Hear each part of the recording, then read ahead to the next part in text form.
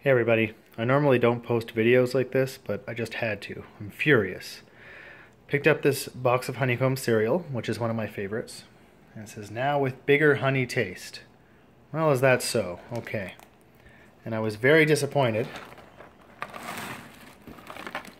To see that they're different now. Where before they used to look like they were made from some sort of wheat or grains now, they almost look plastic. They're this neon, pseudo neon yellow, and they taste disgusting. I don't know why they changed them, but I am sincerely disappointed. Has anyone else noticed that they've changed? Does anyone else not like the new ones?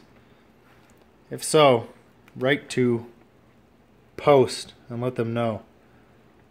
We gotta start a darn revolution.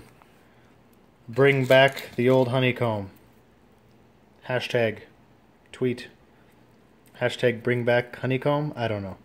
Anyways, I just wanted to point it out because I noticed it and I am very disappointed.